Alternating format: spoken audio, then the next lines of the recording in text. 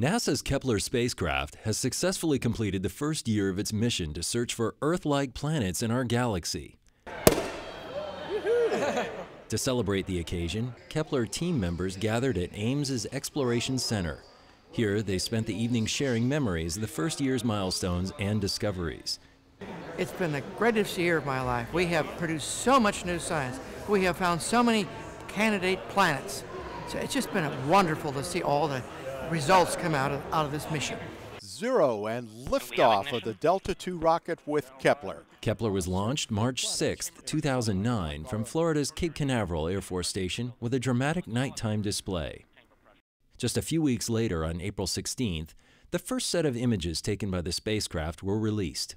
They showed its complete search area near the constellation Lyra, the composite image of unprecedented detail demonstrated that all 42 CCD photosensors were working as designed.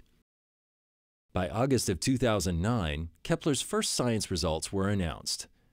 The telescope's sensors had detected properties of the atmosphere around a distant planet called HAT P7b.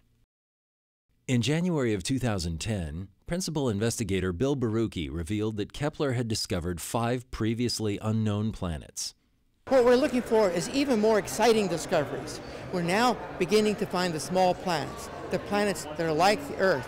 We still haven't gone in the habitable zone, but these are the discoveries that are coming in the next couple of years. Because Kepler team members are spread around the world, the event was a rare opportunity to renew friendships and celebrate the year's events. But they are just as excited about discoveries yet to come. In this first year, we've really only skimmed the cream off the top we're only just beginning. We have so many exciting things to look forward to. So I really am starting to get into that mode of, you know, really exploring and discovering new worlds that we're that, that that's our objective. That's why we're here.